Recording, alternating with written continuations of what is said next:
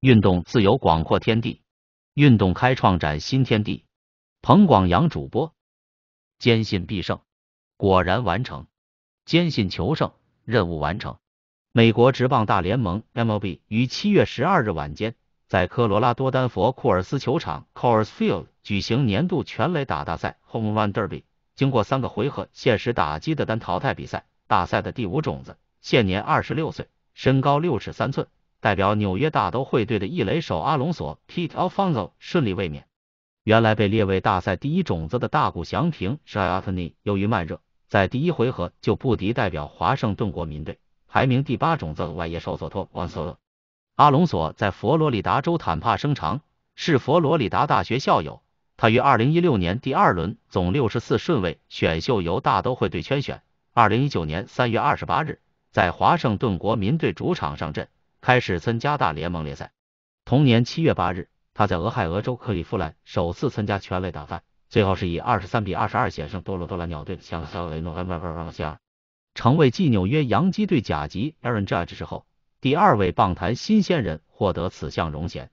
阿隆索加入大联盟只有三个球季，两次参加全垒打大赛，因此共获得二百万元优胜奖金。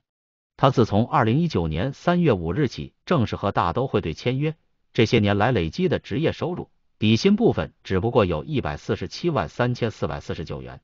他至今参加大联盟例行赛事二百九十五场，累计二百七十一支安打，共有八十六支全垒打和二百零四个打点。他在本球季出赛七十七次，击出过十七支全垒打。他曾经在新人球季单季有过五十三次全垒打。阿隆索二度成为全垒打王之后，将下半球季努力目标放在年度最有价值球员奖项。阿隆索又投又打，从此和左投左打的中外野手，已经于二零一六年入列名人堂的小葛瑞菲 Ken Griffey Jr. 一九九四、一九九八、一九九九，在古巴出生。曾经效力大都会队五个球季的左外野手塞佩达斯 （Unisad） 二零一三、二零一四和右投子有十二年一千六百一十一场作战经验的一垒手费尔德 （Prince Fielder） 二零零九、二零一二成为仅有的蝉联全垒打王。这场单纯的强棒单挑比赛曾经一度出现具有争议性质的描述。高知名度的美国有线电视运动主播史密斯 （Steven）。十二日上午，在大赛前公开表示：“我知道棒球就参与本质而言是国际性，但是当你讲到电视观众和现场球迷，我并不认为那个排名第一的人需要借助同声传译告诉你他究竟说些什么。于是有何注意？I understand that baseball is an international sport itself in terms of participation, but when you talk about audience gravitating toward the two ball to the ballpark, what? Okay. I don't think that the number one faces the needs an interpreter, so you have said what I say. 几个小时之后，史密斯在推特发文公开道歉，容许我现在致歉。我从来无意冒犯任何社区，特别是亚裔社区和大谷祥平先生。身为非洲裔美国人，我非常警醒样板化在全国已经造成许多破坏。我不该火上浇油。我所说的话，莫有谨守这样的认知，这是我的错，我个人完全负责。大谷翔平是整个竞技运动界的最闪烁的新星之一，他在领导和包容方面令人刮目相看。我在稍早的评论中应该包含这点。Let me apologize right now.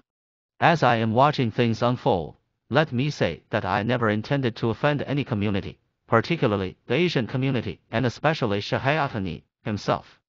As an African American, keenly aware of the damage stereotyping has done to many in this country, it should be elevated my sensitivities even more. Based on my words, I failed in that regard and it is on me, and me alone. Otani is one of the brightest stars in all of sports. He is making a difference, as it pertains to inclusiveness and leadership. I should have embraced that in my comments. Instead, I screwed up. In this day and age, with all the violence being perpetrated against the Asian community, my comments, albeit unintentional, were clearly insensitive and regrettable. There is simply no other way to put it. I am sincerely sorry for any angst I've caused with my comments on First Take Monday. Again, I am sorry.